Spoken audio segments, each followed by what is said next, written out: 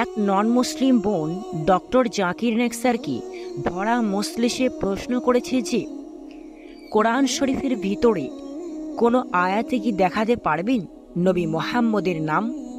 তাই চলুন doctor Zakir Naik sir এই প্রশ্নের উত্তরে কি উত্তর দিলেন ওই নন মুসলিম বোনটিকে। তাই চলুন ভিডিও শুরু করি let's start the video sir, আমি পেশায় একজন শিক্ষিকা, এছাড়াও আমি ইসলাম ও অন্যান্য ধর্ম নিয়ে রিসার্চ করি। আপনার নামটা কি জানতে পারি? আমি নীলিমা। আপনার লেকচারের জন্য অসংখ্য ধন্যবাদ। তবে আমি কিছু ব্যাপারে একটু জানতে চাই। যেমন, আপনি ভবিষ্যৎ পুরাণার কথা বললেন। তৃতীয় খণ্ডের তৃতীয় অধ্যায় পাঁচ থেকে আট নম্বর শ্লোক। আমি আপনাকে আরেকটা ব্যাপার জানিয়ে রাখি যে, হয়তো আপনিও এটা জানেন। ধরেন, ঈশ্বর যে নবীকে পৃথিবীতে পাঠান, সেই নবী তার উদ্দেশ্যে বলা ভবিষ্যৎবাণীগুলো পূরণ করবেন। যদি সেই নবী অর্ধেক বা তার কম ভবিষ্যৎবাণী পূরণ করেন, তাহলে তাকে নবী বলা যাবে না। এটা একটা সাধারণ যুক্তির ব্যাপার। এবারে ভবিষ্য পুরাণার কথা বলি। আপনি সেই ম্লেচ্ছ নেতার কথা বললেন, আর বললেন, তিনি নবী মোহাম্মদ ছাড়া আর কেউ নন। আচ্ছা আমি আপনার কথার প্রথম অংশটা মেনে নিচ্ছি। কিন্তু পরের অংশটা আপনি ব্যাখ্যা করে বলেননি। এখন আপনাকে বলি, ম্লেচ্ছ একটা সংস্কৃত শব্দ। আর সংস্কৃত ডিকশনারি অনুযায়ী ম্লেচ্ছ শব্দটার অর্থ অনার্য অথবা পাপি অথবা খারাপ লোক। ম্লেচ্ছ শব্দটার এই তিনটা অর্থ হয়। তাহলে কি বলা যায় মোহাম্মদ ছিল পাপি অথবা খারাপ লোক?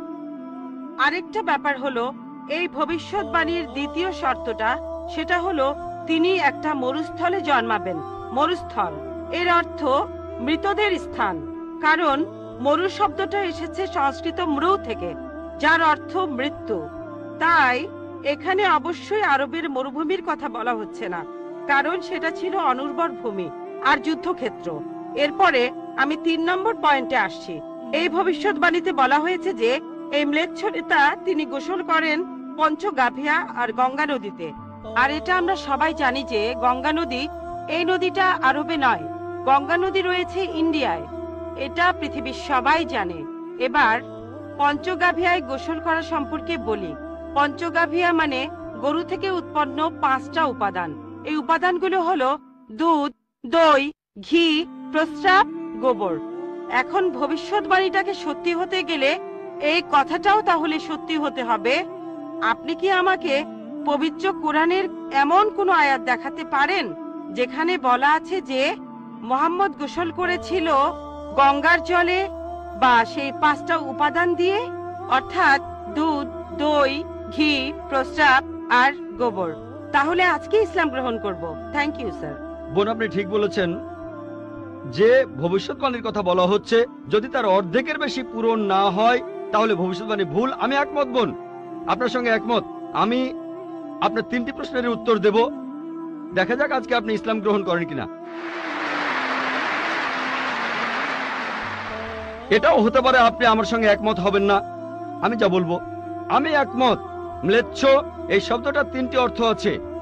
ম্লেচ্ছ, এর একটা অর্থ হলো অনার্য, অর্থাৎ বিদেশি। আরেকটা অর্থ হচ্ছে পাপি, আরেকটা অর্থ হলো খারাপ লোক। আর দেখবেন ইন্ডিয়ায় হিন্দুরা সাধারণত মুসলিমদের বলে থাকে ম্লেচ্ছ। তারা যখন এভাবে বলে, তারা আসলে বোঝায় পাপি আর খারাপ লোক। কিন্তু এর আরেকটা অর্থ হলো বিদেশি। যখন আমি লেকচারে কোনো ধর্মগ্রন্থ থেকে উদ্ধৃতি দেই সেখানে একটা শব্দের যদি অনেক অর্থ হয়, ব্যাপারটা এমন না। ধরেন শব্দটার চারটা অর্থ আছে, তার মধ্যে তিনটা অর্থ এখানে খাটে। না, মাত্র একটা ঠিক হলেও অর্থ সঠিক হতে পারে। যেমন ধরেন কোরআন বলছে, তোমরা শুকর খেও না। আজকে যদি ডিকশনারি খোলেন, এই শুকর শব্দটার একটা অর্থ হলো পুলিশ, অর্থাৎ পুলিশ অফিসার। তাহলে একটা অর্থ শুকর, আরেকটা অর্থ পুলিশ অফিসার।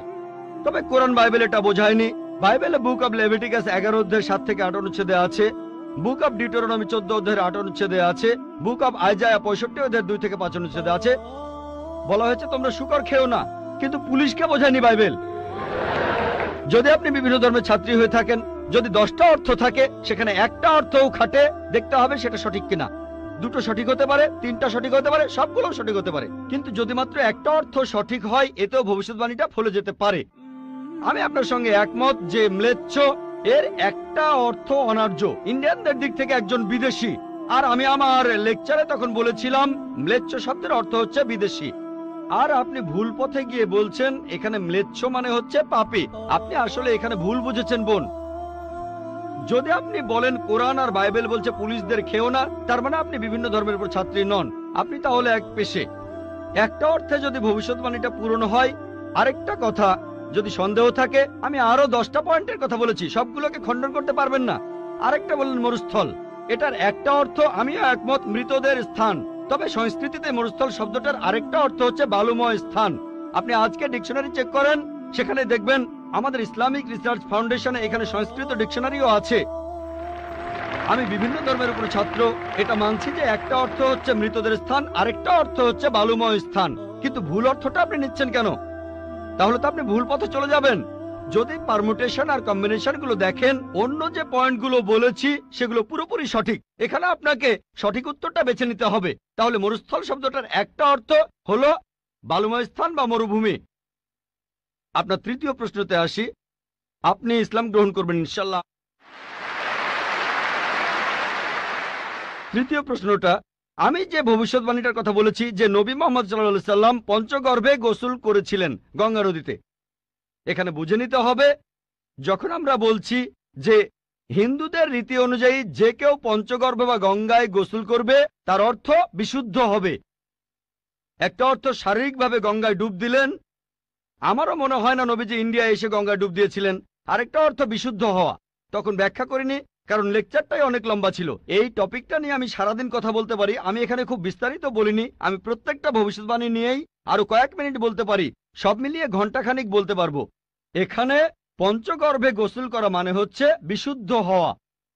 এখানে প্রসঙ্গটা বুঝতে হবে, শারীরিকভাবে গোসল করার অর্থ এখানে বলা হয়নি, আর আপনি গঙ্গার পানিতে ডুব দিলেই বিশুদ্ধ হয়ে যাবেন এমন কোনো নিশ্চয়তা নেই, বিশুদ্ধ না হওয়ার সম্ভাবনাই বেশি। এটা হচ্ছে হিন্দুদের রীতি অনুযায়ী বলা তাই এখানে ভবিষ্যৎবাণীটা বলছে যে নবী মোহাম্মদ সাল্লাহ সাল্লাম পঞ্চগর্ভে গোসল করেছিলেন। তার মানে এই না যে তিনি এখানে এসেছিলেন মানে হলো আল্লাহ তালা তাকে বিশুদ্ধ করেছিলেন। আমরা বিশ্বাস করি যে আল্লাহ তালার সকল নবী, সকলেই হোক তিনি মুসা বা ইসা আল্লাহিসাল্লাম অথবা মোহাম্মদ সাল্লাহ সাল্লাম, তারা সকলেই ছিলেন মাসুম। তারা ছিলেন নিষ্পাপ, ছিলেন বিশুদ্ধ। তাহলে আল্লাহর সকল নবী, আল্লাহ যাদের পৃথিবীতে পাঠিয়েছিলেন আমরা মানে যে তারা সকলেই নিষ্পাপ, সকলেই মাসুম, সকলেই বিশুদ্ধ। তাহলে আপনার উত্তরটাও পেলেন। আশা করি ইনশাল্লাহ আপনি ইসলাম গ্রহণ করবেন, বোন। ভিডিওটি যদি ভালো লেগে থাকে, অবশ্যই আমাদের আল্লাহ সর্বশক্তিমান চ্যানেলটিকে ভালোবেসে সাবস্ক্রাইব করে রাখবেন। ততক্ষণ সকলে ভালো থাকুন, সুস্থ থাকুন। আল্লাহ হাফিজ।